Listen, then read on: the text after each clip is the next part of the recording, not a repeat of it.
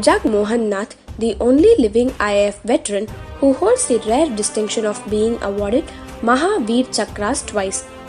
Jag Mohan Nath was born in Laya village in the Punjab province of British India and relocated to India after partition. His family members were all doctors, but the young lad had a passion for planes from an early age. Growing up in his village, he would spend hours watching the planes high in the sky. Nath got an opportunity to follow this passion in 1948 when he joined the Air Force Administrative College in Coimbatore for his initial training in the IAF. Dedicated and hardworking, he was soon selected for the daring maneuvers and covert operations in hostile territory. His tryst with history would begin a few years later with the 1962 debacle on the China border. It was during the beginning of this standoff that Nath was given the risky task of covertly accessing the Chinese buildup in the Aksai Chin area and Tibet.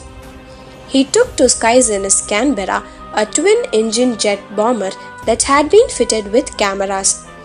During his survey mission, Nath was often detected and fired at by the Chinese despite flying high to avoid radar detection.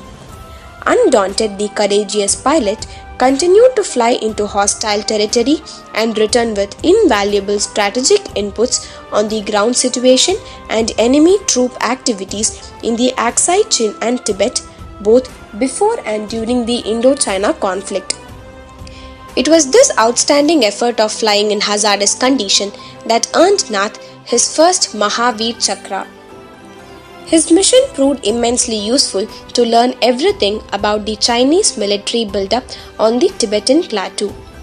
Nath's conclusion were that China had no air force on the Tibetan plateau in 1962.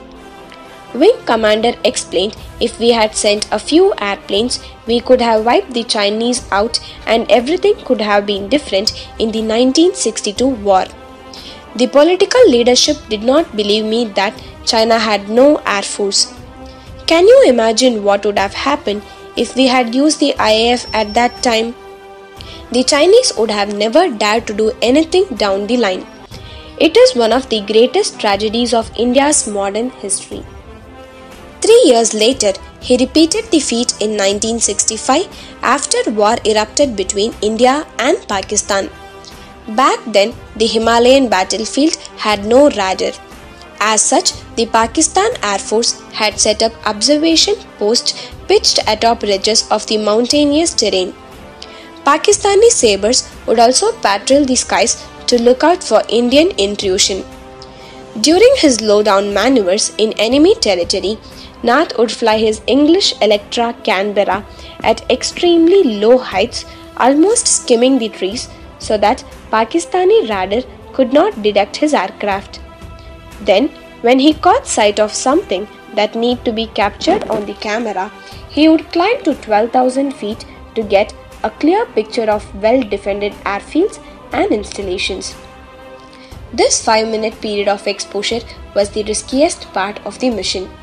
Easily visible to Pakistani outposts and aircrafts, Nath would often have to dodge and duck between the peaks at dizzying speed to avoid being shot down by the furious PAF sabres in hot pursuit. The 30 odd lowdown maneuvers conducted by Nath yielded a treasure trove of strategic pictures and informations. It was this crucial intelligence that helped IAF aircrafts destroy a powerful radar in Badin, and that the Indian army almost reached Lahore. He was again conferred the Mahavir Chakra for his act of bravery, complete disregard of his personal safety, and a high degree of professional skill. He is the first of six Indian officers to have twice been decorated with the Mahavir Chakra a living legend, Jag Mohan retired from the Indian Air Force in 1969. Jai Hind.